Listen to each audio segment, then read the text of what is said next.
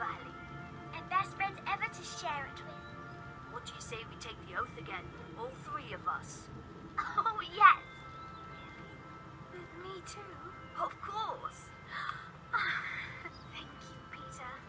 Now, repeat after me.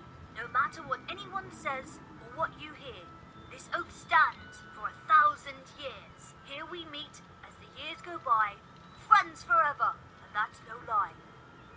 Say dooga dooga doo. It's only Heidi, Clara, and me. This is our solemn treehouse oath. No matter what anyone says or what you hear, this oath stands for a thousand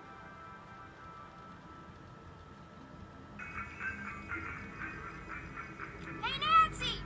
What are you guys doing in my treehouse? It's a long story. Could you please your